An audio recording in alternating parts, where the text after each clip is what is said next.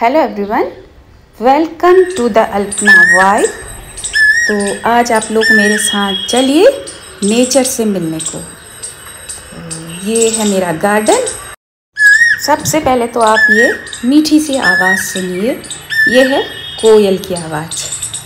तो देखिए अलग अलग चिड़िया की आवाज़ आपको सुनाई दे रही होगी। और ये है मेरा मक्के के पेड़। तो मैं आज ये सुबह सुबह चाय पीने के लिए बैठी थी।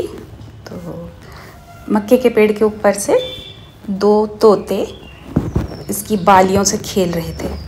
तो आप भी देखिए। तो ये मेरा तो बिल्कुल मेडिटेशन हो गया आज सुबह सुबह। और मेरा सारा ध्यान इन पर ही लग गया और मन बहुत खुश हो जाता है प्रकृति को देखते हुए। ये गर्मी के दिनों में हरी भरी प्रकृति देख करके तो ठंडक का एहसास अपने आप ही होने लगता है। ये देखिए, ये तोते, ये जो मेरे, ये मक्के के पेड़ों पे जो बालियाँ लगी हुई हैं, उनसे खेल रहे दोनों जने।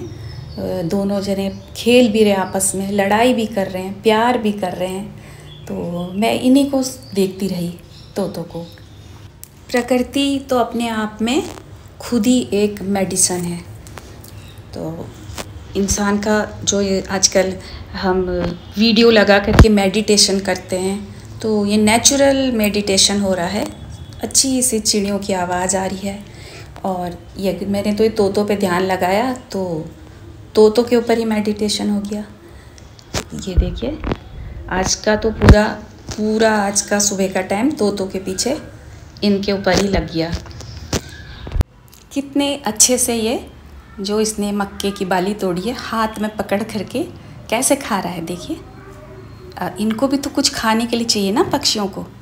ये देखिए कैसे खा रहा है। और जो भी अपने को नेचर से जोड़ लेता है, उसे जो आजकल ये बीमारी चली है, डिप्रेशन, वो कभी नहीं होगा।